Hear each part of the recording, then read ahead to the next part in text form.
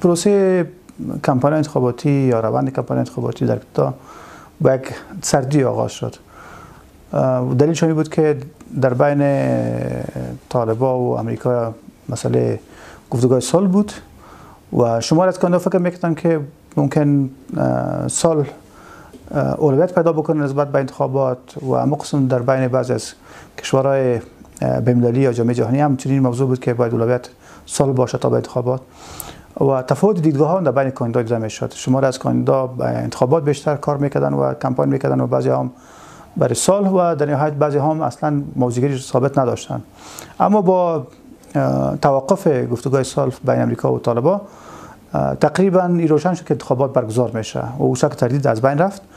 دیگه بعد از اون زمان کمپاین ها به سمت سوی فعال حرکت کردن و ما شاهد بودیم که کاندیدا حداقل وای که بیشتر مطرح هستن. سفرهای خود به ولایات آغاز کردن. اما چیزی که پیدا کردیم این بود که همه شمول نبودی کمپاین ها. یعنی تمام ولایت در بر نگرفتن. مردم هنوزم از بابت اطلاعات در مورد برنامه های کاندیدا و اهدافی که دارن برای پنج سال آینده کشور زیاد با خبر نیستن یک موضوع دومی که خود شکل و شوی کمپاین ها هم نسبت به گذشته تفاوت باش. مثلا در 2014 مناظره بسیار دقیق و چالش زای در بین کاندیدا وجود داشت که در اونجا برنامه بیشتر به چالش کشانده می‌شد و برای مردم فرصت می‌داد که پیدا بکنه کدام تکت انتخاباتی برنامه عملی داره و برای بنفع کشور است. متاسفانه این بار ما چنین مناظره در بین کاندیدا نداشتیم و برای مردم بسیار تشخیص واضح نشد که کدام تکت انتخاباتی برنامه خوبی را داره. در کل می‌تونیم که بگوییم که این برنامه تا حد کمک کرد که در ولایت برگزار شود. اما در کل متاسفانه در شامل کشور نبود. مردمی که در ها هستن اصلا با خبر نشدن. بعضی ولایت‌ها که ما آگاه هستیم یعنی مردم در کاندیدا هم نمی‌فهمن که ما چند کاندید داریم فعلا. کاندیدایی که استعفا انصراف کردن یا به نفع کاندید دیگه پیوستن برای مردم اطلاعات کافی داده نشدن. و در عین حال چیزی که به عنوان تخلفات واقع شده در بعض از تکت انتخاباتی کمپانیشون که برگزار شده حضور اطفال که من از طرف کمیسیون در لایحشان دیده شده که از اطفال استفاده افرادی که سن قانونی رو تکمیل نکردن. در بعضی حالات دیدن کارمندان دولت هم در کمپاین ها اشتراک کردن خلاف لایحه و طرز العمل. و چیزی که به عنوان منابع مالی است هنوز هم برای مردم گزارشاتی که واضح بسازه که منابع مالی از کجا شدن و کجا مصرف رسیده و چقدر مصرف شده یا موضوعی است که هنوز روشن نشده. امیدوارم که در روزهای بعدی بازی واضح شود از بابت کمیت یک رقم قابل ملاحظه با کمیسیون مستقل انتخابات افراد به عنوان ناظر ثبت شده. یعنی در حدود بیشتر از یک و ده هزار ناظر که مربوط به نمایندگان مربوط به کاندیدا میشه احزاب سیاسی میشه نهادهای جای مدنی مطبوعات و, و بعضی از مهمانان خاص که از سفارتخانه هستن اینها ثبت شده. یعنی از لحاظ کمیت کدام مشکل نداریم. ولی از لحاظ کیفیت ما زیاد خوشبین نیستم که اینها بتونن کار خود درست انجام بدن. چرا که آموزش در عین حال سیستم نظارتی که بتونه کمک بکنه یک روند استاندارد و مسلکی را در نظارت او متاسفانه زیاد پیاده نشده. نهادهای با اعتبار که دیگر از قبل تجربه داشتن امروز وقت جامعه جهانی کمک نکردن. میمونه دیگه بعضی نهادهای تازه وارد که سمیان اونها از پروسه نظارت خواهد کردن اما شک تردید مایی است که به وجه که اینها کمک بکنه برای شفافیت مداخله ها و مزاحمت های باعث خواهد شد که در پروسه اخلال به وجود بیاد. از لحاظ رقم سخت است که ما فعلا یک رقم معلوم کنیم چون کمیت وقت معلوم میشه که شما راپورتان تویید شده باشه. همکار ما فعلا سر راپور کار می‌کنه. اما به صورت عمومی ما گفتم که در کمپانی انتخاباتی ما از حضور اطفال که چیزی که در قانون من است دیده شده در کمپانی انتخاباتی استفاده شده.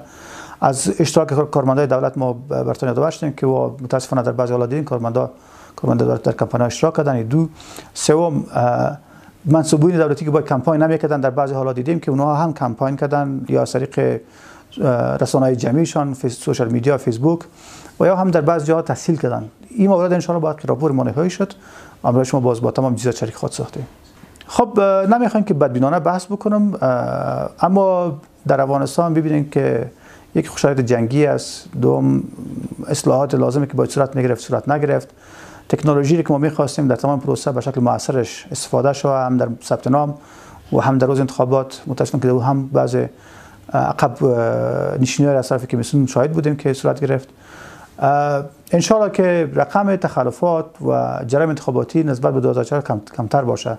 چرا که هم کاندیدایی را درک کردن که نسبت به گذشته خوبتر نظارت بکنن و محتاط باشن برای پروسه. هم کمیسیون انتخاباتی را درک کردن که نباید اینها باز مورد تعنه و بالاخره محکومیت بسیار بیروی مردم واقع شوند. و سه مردم هم درک کردن که نباید بارایشون معامله صورت بگیره اونها هم محتاط باشن.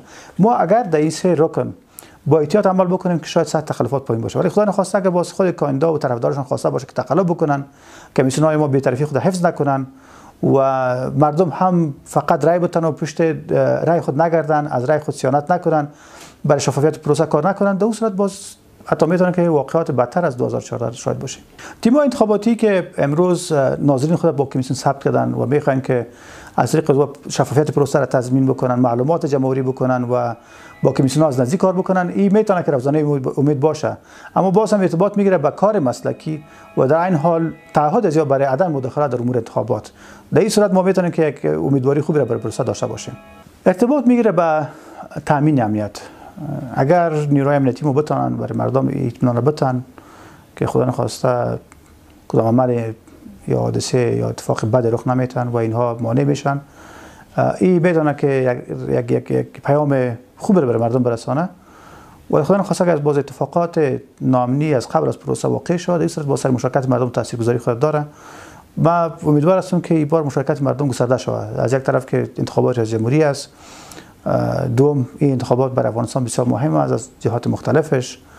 و سومی که مردم هم درک کردن که بدون انتخابات دیگر رای را ندارن به خاطر انتقال مسالمت آمیز قدرت به جنگ و به اسلحه و به زور نمیشه که همیشه کشتار صورت بگیره و مردم بالاخره باز بیان قدرت بگیرن. من فکر می‌کنم که مردم هم با وجود که تا حد مشکل سوء اعتماد نسبت به پروسه دارن. و تجربه تلخی که ما در انتخابات 2014 و 2018 داشتیم روی روحی مردم تاثیرگذاری خود داشته. اما باز هم مردم تا جایی که همرشان تماس هستیم در قدم روزهای اخیر مردم بسیار پرسان می‌کردن که در کدام مراکز باید رای بتن و موضوع ثبت نامشون چطور میشه. علاقه مندی ایجاد شده و امیدوار هستم که در روز انتخابات هم شاهد حضور گسترده مردم باشیم.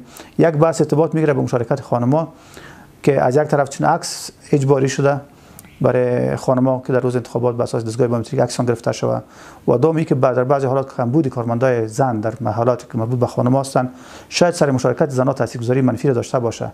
اما امیدوار هستم که چنین چیز نباشه و خانم‌ها هم مشارکت فعال خود داشته باشند. سخت است که چنین قضاوت فعلا بکنیم. از اینکه ما یکی تعداد کاندای ما زیاد هستند و دوم امکان از اینکه رای بیشتر پراگنده شود و کاندای مختلف تقسیم شود. دیگه تخمین از این فعلا سخت است که ما بگوییم که واقعا در دور اول برنده داشته باشیم. ولی ببینیم که بالاخره انتخاب مردم چی بوده می‌تونه. ما به نظر می که شاید در دور اول رای بسیار تیت پاشان شد بین تکتا انتخاباتی و کاندید ندانه 50 جمعه که از آن خود بسازه تا برنده انتخابات باشه. اما باز هم ارتباط می‌گیره به مردم و انتخابشان که چگونه اونها رای میتن. اگر برای دو سه کاندید مطرح اونها رای خود تخصیص بکنن شاید در صورت رای بسیار پراگنده نشه و جمع شد و نهایتا ما پنج جمعه که در بین کندا داشته باشیم که برنده پروسه شود. ولی احتمال زیاد میره که انتخاب بداری دوباره. تا حال کدام نمونه یا مورد که واقعا برای ما ثابت بسازه که کمیسیون طرف ورزی می‌کنن یا غیر جانبدارانه عمل نمی‌کنن پیدا نکردیم. چون تا بال حساسیت انتخاباتی ما در حد نبوده که بیشتر این مهر و تاپه به کمیسیون راجع شود. مسئله عملیات انتخاباتی در سطح آمادگی است که اینها آمادگی گرفتن. ولی روش ها و برخورد ها و شیوه کارشان در روز انتخابات و بعد از انتخابات خصوصا در اتفاقاتی که اگر ناگوار باشه رخ میده که چی تصمیم می‌گیرن و چی گونه به او عمل می‌کنن با زمان می‌تونن که ما شما دقیقا درک بکنیم که می‌تونیم ما بی‌طرفانه و مسخرانه عمل می‌کنن یا اینکه تحت فشار و با یک جانب اینها همراه می‌باشن. بعضی از شک و تردیدی که مطرح شده خصوصا بعضی از کمیشنرها مورد ابراز نگرانی کردن خب نتونستیم که حداقل سند مدرک بیریم که قناعت کننده باشه.